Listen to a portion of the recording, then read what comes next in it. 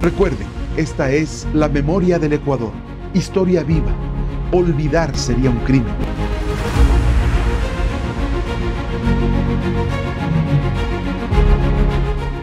El Papa Juan Pablo II visitó el Ecuador. Era la gira número 25 de su mandato y en Latinoamérica visitaría Venezuela, Ecuador y Perú. Por eso lo llamaban el Papa Viajero.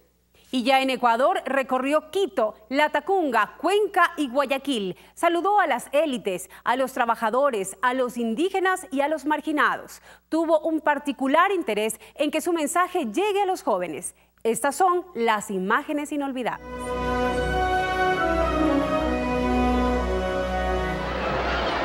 Luego de los recibimientos de rigor, el Papa tenía el primer gran encuentro en la capital de la República. Fue al día siguiente de su llegada en el Estadio Olímpico Atahualpa.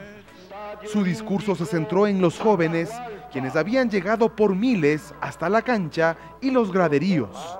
Y agradezco la calurosa acogida que brindáis a quien viene a vosotros como amigo y como sucesor de San Pedro. Ese mismo día se había preparado una segunda concentración en el Parque de la Carolina. Precisamente la cruz del Papa es el testigo eterno de su presencia. Así se vestía el gran parque de Quito. Nunca antes se lo había visto con una concentración así. En especial con los más pobres ¿Queréis luchar? Atención, atención. ¿Queréis luchar contra el pecado?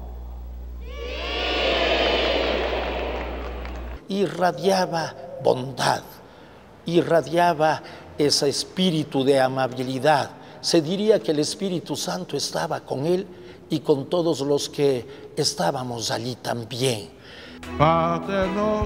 Sus trayectos cortos los hacía en el Papa Móvil, vehículo que fue adaptado en el Ecuador para la seguridad del sumo pontífice. Debía ser blindado por el temor de atentados. Es toda blindada, totalmente blindada, con vidrios antibala. La decoración lo realizó el artista latacungueño Arturo Pastor.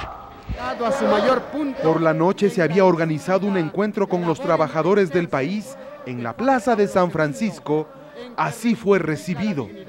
Es el delirio del pueblo, es el delirio de los trabajadores. Todos aplauden, se levantan las banderas del, tricolor ecuatoriano, las banderas del Vaticano.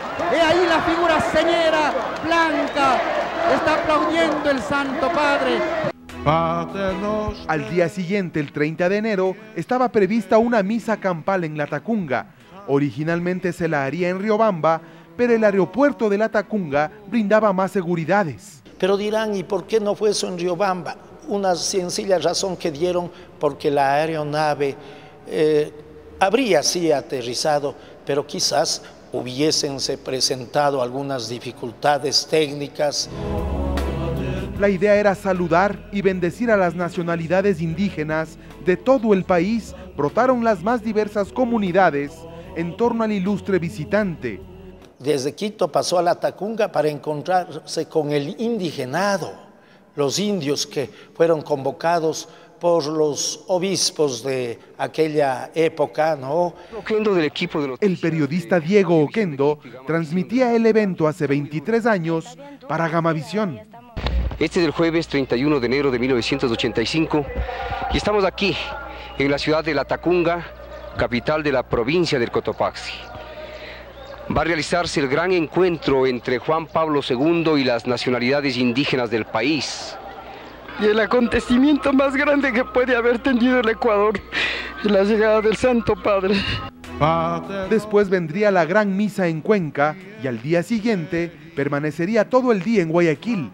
Fue el primero de febrero cuando llegó a un encuentro en la Alborada y luego en una multitudinaria misa en el Guasmo.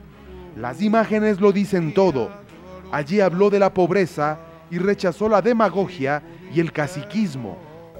Logre aliar derroteros de justicia, de libertad, de fraternidad, de corresponsabilidad en el destino común.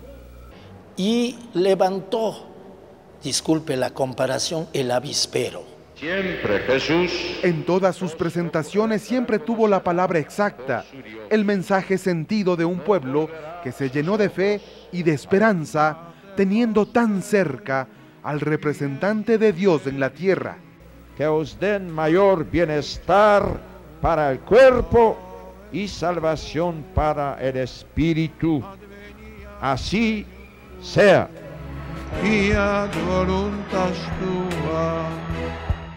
Veinte años después de esta visita, un 31 de marzo del 2005, una fiebre causada por la baja presión arterial desencadenaron en un shock séptico que lo mantuvo agonizante por 48 horas hasta que la muerte lo venció.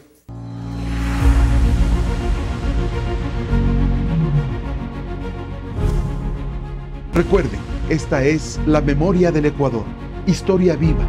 Olvidar sería un crimen. Hasta la próxima.